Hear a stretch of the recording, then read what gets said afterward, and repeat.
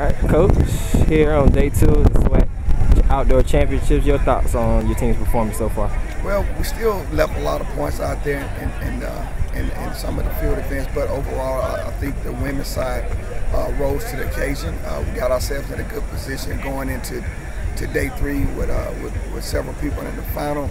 Um, men, we, we finally started getting some people into the finals.